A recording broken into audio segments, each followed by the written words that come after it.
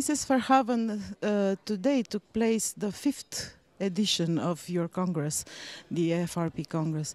What can you tell us about this edition?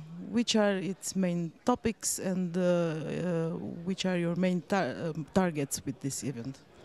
Yes, as um, every year I would say, uh, this conference is uh, taking stock of uh, a number of situations in uh, in Europe, and uh, this year, of course, uh, in pension fund area, one of the most important um, events have been the issuance of the green paper of the European Commission.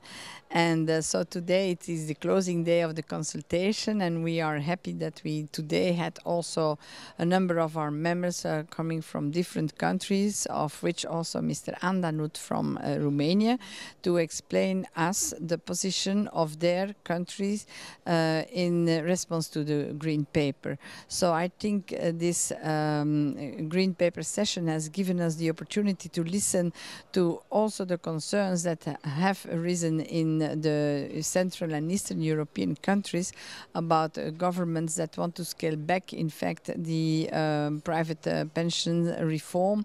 And um, that is of a big concern, not only, I think, to, to Romania, but also to other uh, countries in the region and even at European level. We have heard from the European Commission official that uh, uh, this concern has been heard in Brussels and uh, that, uh, well, they are working on, on it and expecting the Council next month, in the beginning of December, to come back on, on that problem. So it's at the top of the European agenda and also uh, the green paper responses uh, will uh, will are addressing this and and so in the feedback on the green paper it will also be highlighted so that's uh, what I think is, is very relevant for uh, you in Romania.